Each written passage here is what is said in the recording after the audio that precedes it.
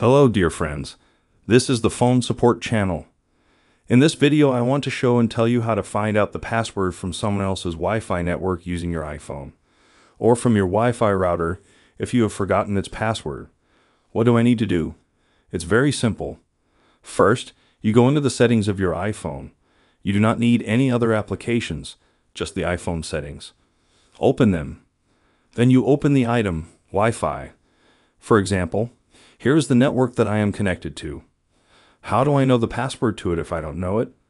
The most important thing is to be connected at least once to the network from which you want to know the password. If you have been connected to that network at least once, you will definitely be able to get the password from it.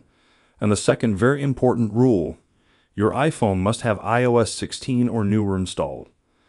If your iOS version is older than version 16, nothing will work. If both of these points fit you, you press the Edit button. Next, your iPhone will ask for Face ID, or another means of unlocking. And now in this big list, we see absolutely every network that we have ever connected to. For example, I can open up the Tenda network.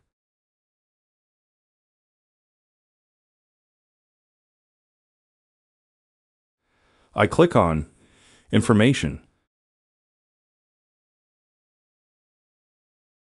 We click on the password, and here we see that password. You can copy it.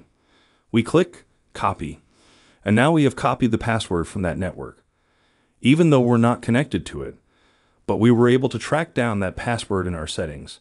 Maybe someone entered the network password so that you couldn't see it, but this way completely destroys all the plans, and we can get the password from absolutely any network.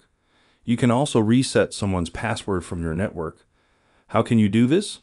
Even if you have forgotten your password. You also click on the button next to your network. And also here we can see the password. Unlock again with Face ID and copy the password for our network. So that's a simple and working method. This was the phone support channel. Like and subscribe to the channel. Your support is very important for our channel. Please like and subscribe to make sure we'll keep releasing useful videos. That's an easy way to do it. This was the phone support channel. Bye, bye. See you later.